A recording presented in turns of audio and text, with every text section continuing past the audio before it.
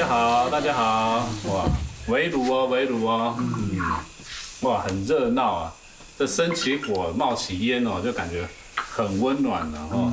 像周主在家里面常常也会升起火，对对对，生火就是主要是熏东西的，熏东西，熏房子。嗯，对，所以可以看到这上面都是弓，哦，它的熏的话会怎么样？它用熏的，它韧性会比较强。我比较不容易断掉这样。对对对对对，只要木质然后竹制的东西，你只要烟熏之后，它它就比较耐。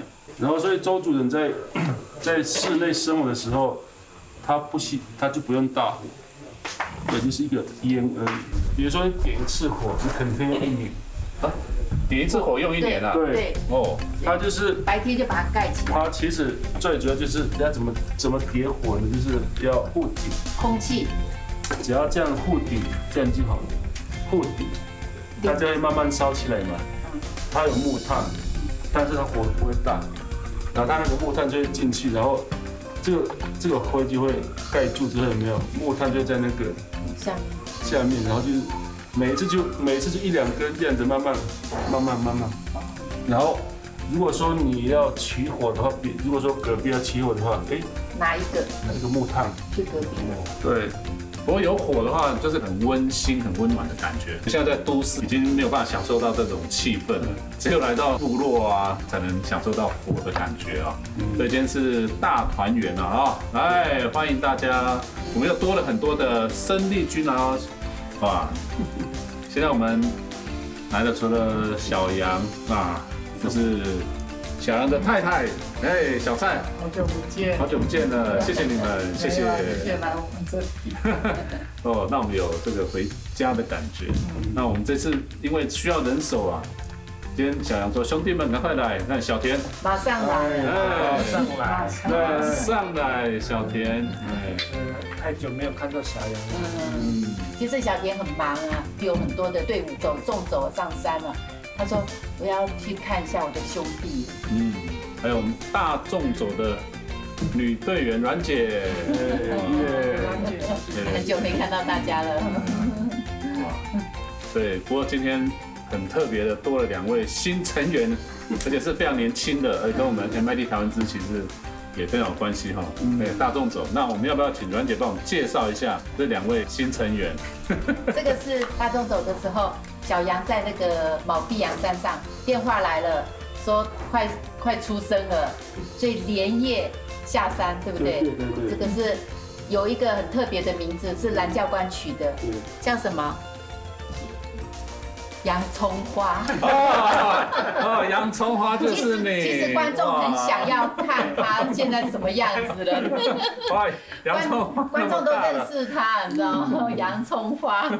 哦，这是在无名词的时候嘛。对对无名词大家在说要帮小杨的嗯，的小朋友取名字。对然，后是还有杨桃枝，对对，还有杨桃枝啊，还有杨玉山杨玉桑，对对，对，或者是洋芋也有了哈哦，都有。或者是洋葱花，最后是洋葱花哈。对对，最后最有名是洋葱花，不过它真正名字不是洋葱花了。嗯要不要自我介绍一下你的本名是什么？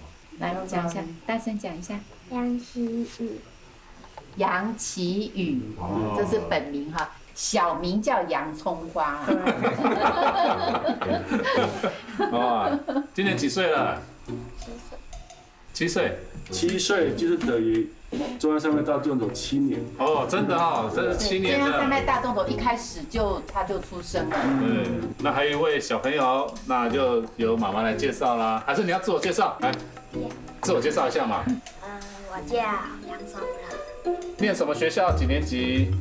念文雅国小，然后三四年级。文雅国小四年级，对。嗯，他是八八风灾之后出生的，哦，对，嗯，就是那一年我们去南湖下来之后八风灾，然后他是十月生的，哦。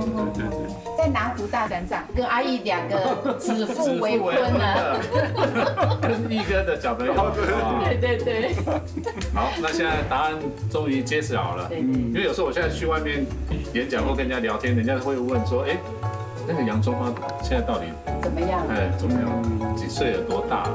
大家都很关心。对。对，所以也是台台那还有一位非常有名的就是小蔡啊啊，对，没有了，没有了。小小蔡的故事应该大家，哎，我们自己有讲过吗？小蔡的故事。有有有，有。啊，小蔡那时候教英文嘛，还小杨还没结婚的时候啊，小蔡教英文，有逼小杨学英文啊。哦，对对对对对，我们去我们去山上的时候啊，我们到了一个晚上可以安歇的地方哦，他冲到那个山头啊，就去打电话。那时候在谈恋爱嘛，嗯，山头才会有讯号，打很久不下来啊。后来助理还把饭菜打上去给他，真的，还把饭菜打上去给他，因为太久，而且很冷啊，在山头很冷，还要拿热水拿饭菜送上去给他。因为他那个时候太想我，一直 那小蔡跟小杨这个病情是在能高安东居嘛？对啊，因为走不动。小蔡偶尔要把那个小杨放行一下，跟我们去山上嘛。一定。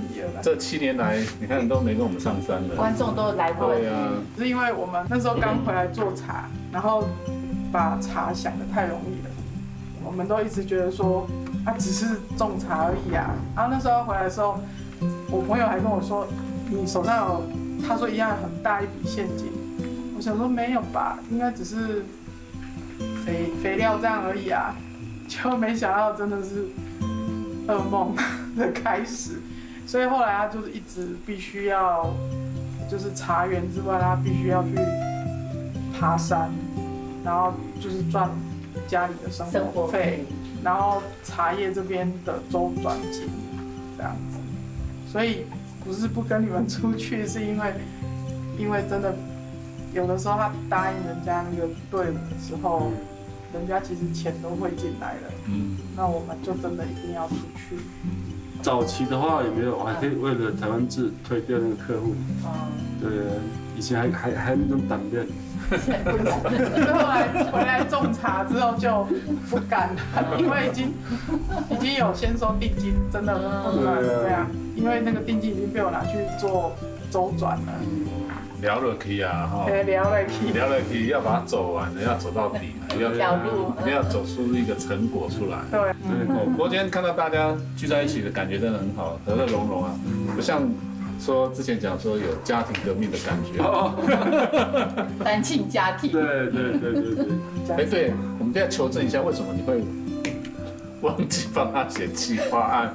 没有是，他那时候就叫我帮他写逐字稿，可是我一直认为说你你就把那个企划案看熟，因为你永远不知道那个评审他会问你什么问题，然后所以我就不理他，然后而且也是第一次准备，然后我就想说你就把它看熟就好了，然后其实我也没有顾虑到他的心情啊，因为他说可能我们消化很快的东西对他来讲他可能要看很久很久。很久，对啊，所以他就看了。他就很生气，这样子，一直到要面试的前一天，他就他就高速公路，对啊，我们两个就在高速公路，他就吵架，就这样子，一面吵吵到吵到桃园去，我那时候在宁夏竹山的，对不起啦，啊，反正结果是好的就好这。是我的书，这样。这个过程有点曲折没有关系，那结果是好的。看结果。所以那一天就是要去做简报的当天嘛。对啊，简报当天，因为他之前就一直跟我说，他不太知道要怎么讲，然后其实我也不知道要讲什么，我一直以为就是针对那个气，就是我们的内容去讲就好了。那听说那天小杨他今天讲是说呼吸不过来啊，你可以再描述他那天的状况是什么样？我是后来听那个听听森老师。听郑老师那个讲的，就是他好像很紧张，然后那个林不是好克，不是好像的，真的，我差一点就直接昏倒了，嗯。因，为中间也发生很好笑的事情，因为他讲的，然后后来有一个评审就跟他说，诶，为什么你讲的跟写的不完全一样，完全不一样？可能他讲的更动人吧，哦，比写的还要好。就是真诚自然流露。对对，真诚自然流露。继续走下去，好，我们也是很久没看到你，所以就直接来看你了。今天大家都来部落找小杨，看他究竟在干什么，有那么久没有出现。对，谢谢麦克利兰，了谢谢解了兰。姐，谢谢兄弟麦哥，，嗯，感谢小田。哎，摄影组，一起加油！感谢你们。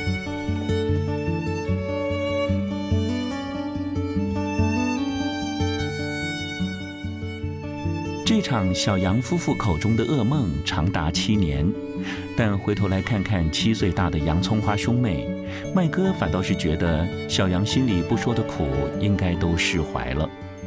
有朋远来，再闷再苦也不能怠慢。于是大众走时，高山主厨之一的小杨很有巧思地摆了一桌向导大餐，让大伙儿回味那个一起吃苦的风雨日。但麦哥今晚竟然很想喝一口小杨种的茶。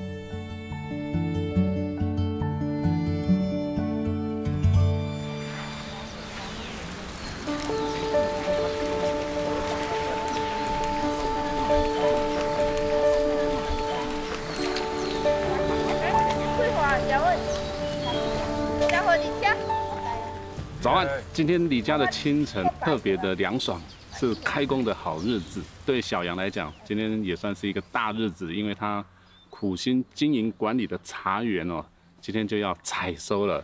那一大早就可以看到很多采茶的姑娘陆续已经到达我们的茶园了，可以看他们的装扮都很特殊哦，都戴着斗笠，然后整个头巾呢都把脸都蒙起来的哦，可以看到人现在很多啊。那就要赶快把这个茶园哦，里面已经长出来的嫩叶啊，这个茶叶哦，就是要趁这个早上就开始要采，那采收完呢，才能够到制茶的流程。那我们现在已经看到大家都已经就位，那个动作很快啊，不但是要赶时间哦，而且是要称斤论两的，所以大家一到茶园就开始噼里啪啦开始采。我们来看一下这个采茶有什么窍诀，去跟他们聊聊天，打个招呼。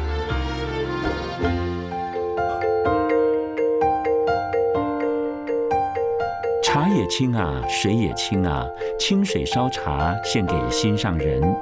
李家茶山情歌开始哼唱，而小杨这一季的茶也要准备采收了。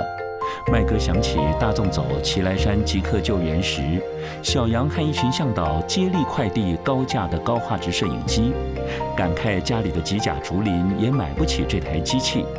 但我们今天茶山停一停，就要看到小杨今年最后的成绩发表。